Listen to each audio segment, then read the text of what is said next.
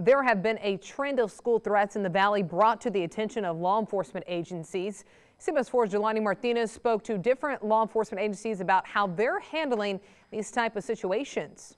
Once you start putting out there in social media, you're just feeding that. You're just feeding the problem and that attention spirals out of control. San Benito police responded to the most recent threat after a photo was posted online of a message left at a local high school's restroom wall saying, I'm shooting you all, dating February 21st, 2018. But San Benito is not alone. Unfortunately, it has occurred here in our city.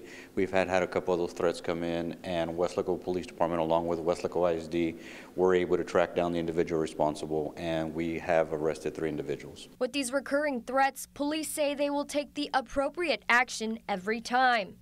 Uh, we don't want to get to that uh, complacency stage where you know some are going to be you know uh, saying, "Oh, the boy that cried wolf." We're not going to be doing that, but it does cause a lot of problems with family. And by problems, Galvan means to the point where people may stop reporting these possible threats. However, the agencies do have tactics in place. Our department currently has more foot patrols inside the school areas. We have a lot more visible officers outside of the area, and we like to enforce uh, any type of traffic violations in and around the school area, just to make our, our presence known which Galvan feels is affecting their daily duties.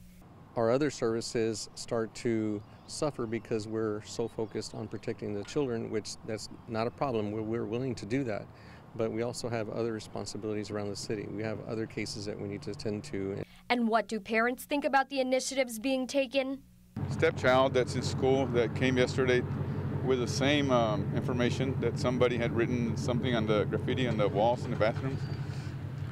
So um, I guess extra patrol would be excellent at uh, this time. How do you feel when?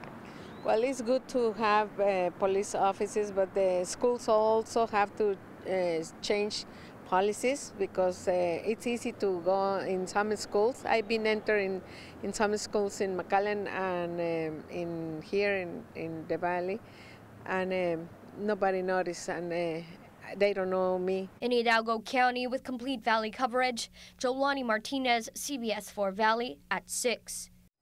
Chief Galvan advises those who discover a threat to skip posting it on social media accounts and instead report the threat immediately to law enforcement.